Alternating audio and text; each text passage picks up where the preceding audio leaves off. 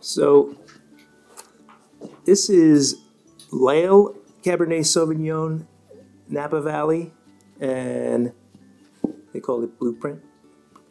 Um, half bottle. How convenient, right? So next time you're dining solo, half bottles are great for that. Uh, weeknights. But anyway, this wine is a wine with uh, incredible legacy behind it. Robin Lail founded the winery, and she's the great grandniece of Gustave Niebaum, who was, of course, the one who founded Inglenook Winery right in the heart of Napa Valley back in the late 1800s. And her grandfather, John Daniel, is passed on to.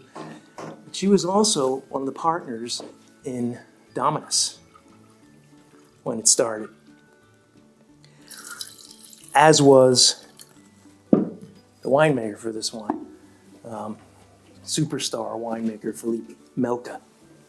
Originally came over to, to work on Dominus, and now he's got his hand on so many of the top Napa cabs. Um, clearly, he's got uh, a magic touch when it comes to that.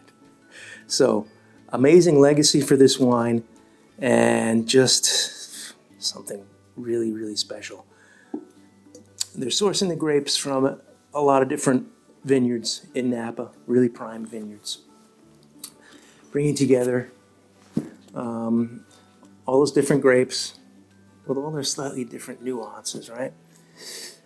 Everything fermented separately, and they go into a blend.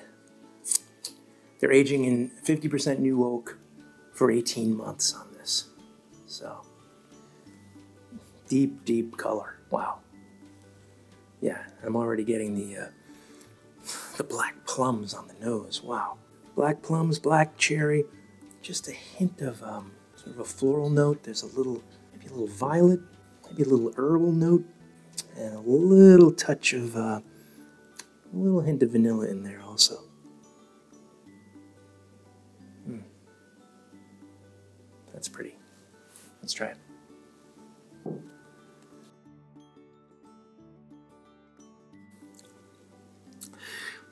this one's really mouth filling. Rich, kind of opulent on the palate. It's got nice fine grained tannins, which give it some a really nice structure and a good balance. And the fruit's intense. There's black plums, black cherries, some of those little hints of vanilla, little hints of sort of um, little dusting of herbs and spices in here. I even get a little bit of like exotic spice on this. Definitely hanging around long on the finish.